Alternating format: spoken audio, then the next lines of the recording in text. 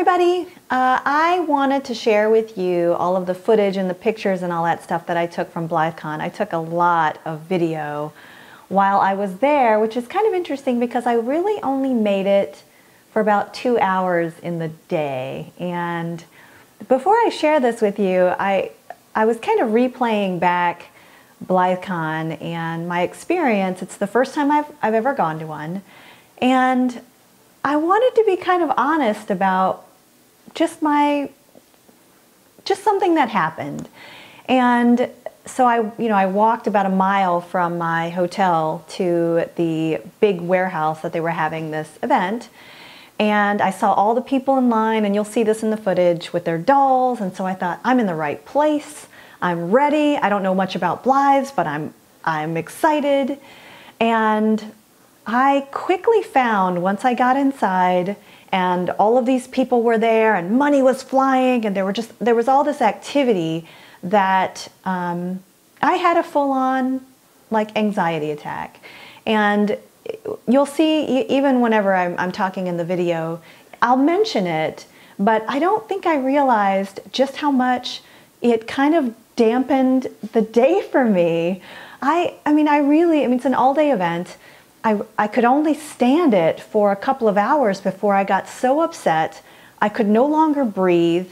I, I was just, I was no fun to anybody. And I didn't even get a chance to like, you know, hang out with a couple of people that I know from the Facebook group. I just was, I had to get out of there. And there were a couple of times where I actually had to step outside and breathe and tell myself it's okay, that it's okay that there's so many people. These are doll people. Everything's going to be fine. And I just, I got really disappointed in myself that I, I just couldn't make it anymore. I just got exhausted and ugh, anyway, all this stuff happened. And I'm, I'm embarrassed. I'm embarrassed even to say it now because I'm supposed to be out, a little bit outgoing. I know what I'm getting into and it still happened. So as I'm walking back to the hotel, I realize I just get more and more kind of down about myself. And I've got a bag full of goodies, and you'll see I've got fantastic stuff that I, I'd purchased. I certainly spent enough money in two hours. But by the time I got back, I just I went to a quiet place and I just kind of felt sorry for myself for a little while. And now that it's been uh, a week, um, I realize that it's okay. it's okay to have these experiences. It doesn't matter how prepared you think you are or how excited even that you are to go to an event like this. These things happen to the best of us and you can't beat yourself up. So I wanted to share my own personal kind of a little bit embarrassing experience about it because I think I'm probably not the only one who who has these kind of anxiety attacks around people even in the best of situations. So that aside, um, I can't wait to show you all of the footage that I took and show you kind of the fun stuff that I brought home. So check it out.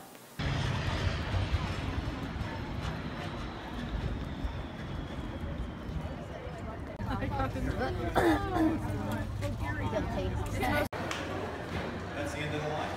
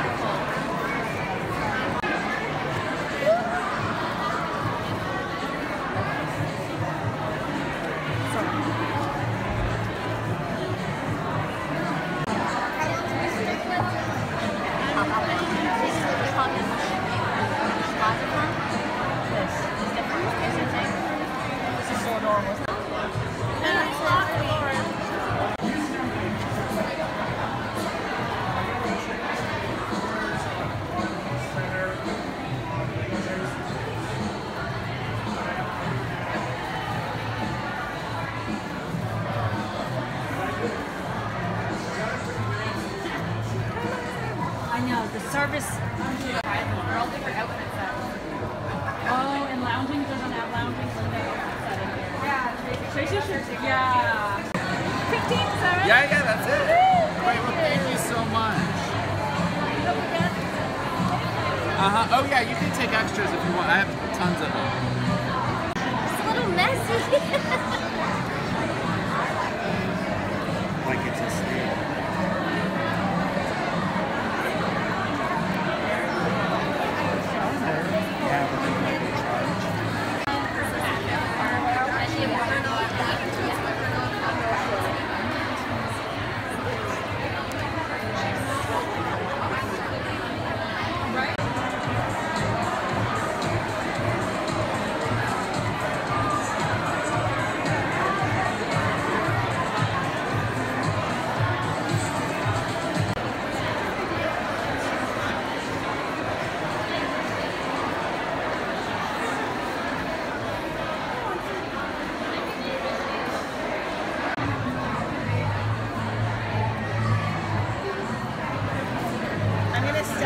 lobby where I can get a better seat. Yes, yes. This is what I'm buying. Yes. I'm just here until Tuesday. Got to elect the kids. I Please bring me back the song that I'm not. I've been gone for 31 years. And she taught me how to make dog clothes back when I was like six or seven.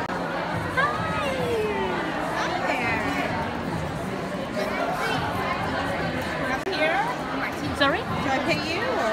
Yeah, it's fine. Need shoes really badly, so these flights, I guess. Yeah.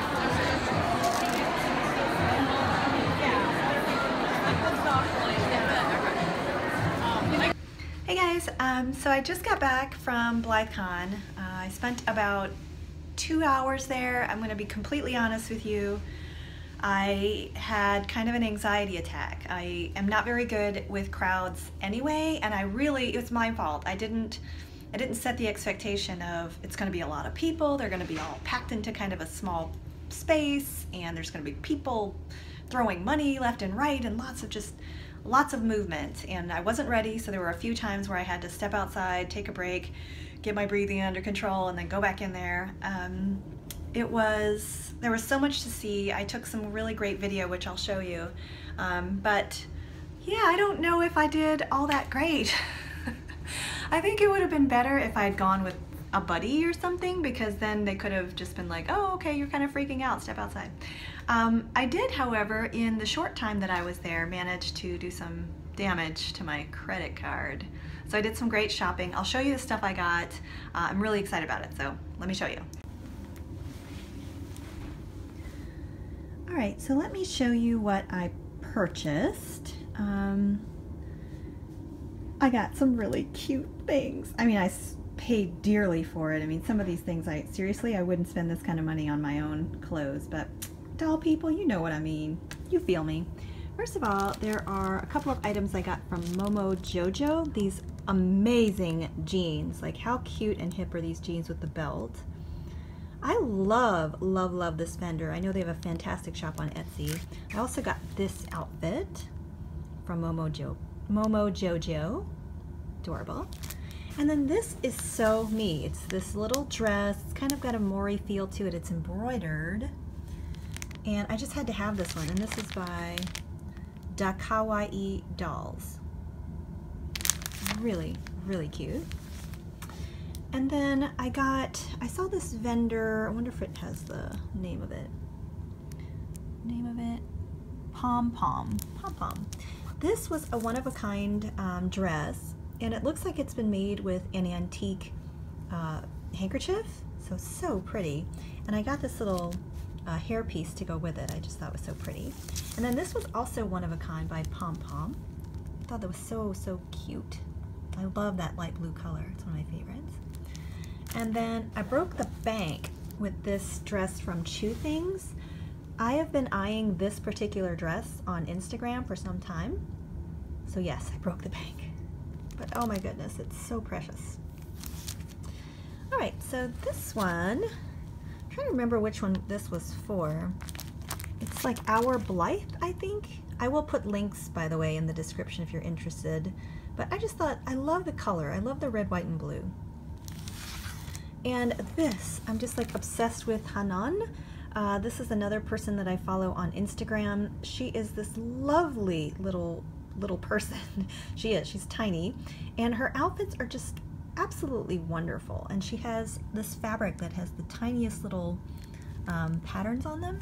And speaking of patterns, she's actually kind of famous for making these doll patterns of her dresses.